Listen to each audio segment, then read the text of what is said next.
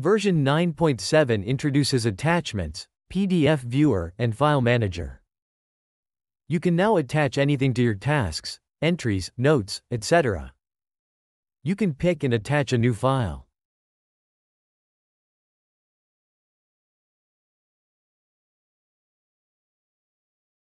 From existing file. URL. Or any items. Attaching items will also generate backlinks. For example, you can see that this entry was mentioned in the task. There's a PDF viewer so you can view the attached PDF files. You can add attachments to almost everywhere. For example, within this task, you can add attachments to the Notes and Attachments section. You can add to its private notes.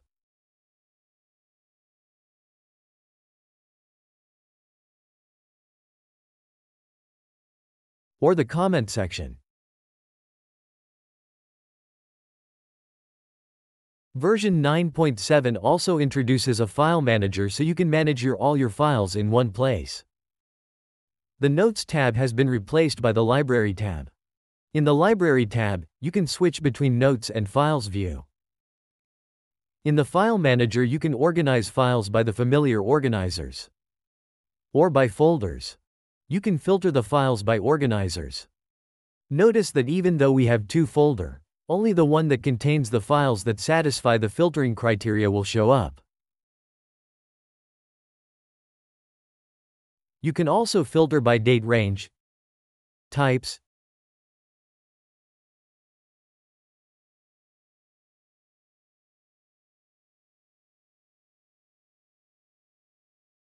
title,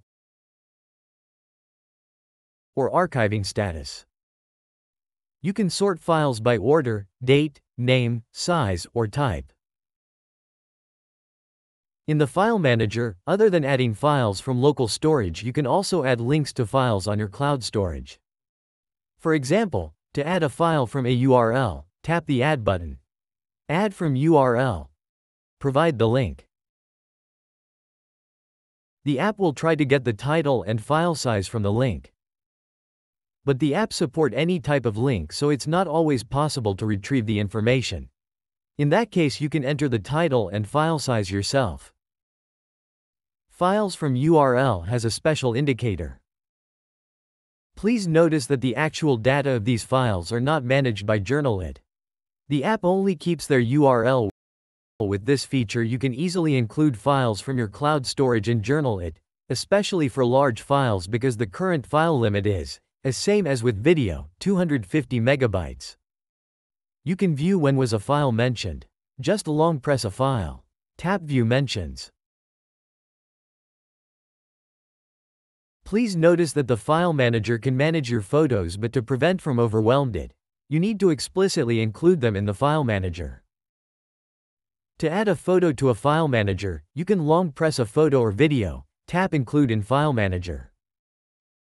When picking photos you now also have the option to include photos that already added to Journalit. In the photo picker, switch to recently added and select the photos.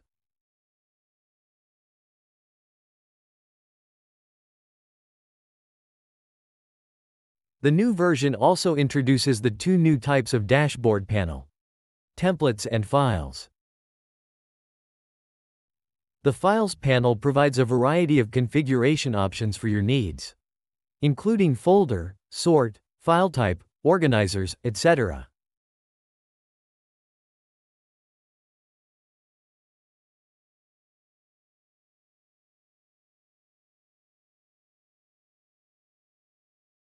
The collection feature now support attachments property.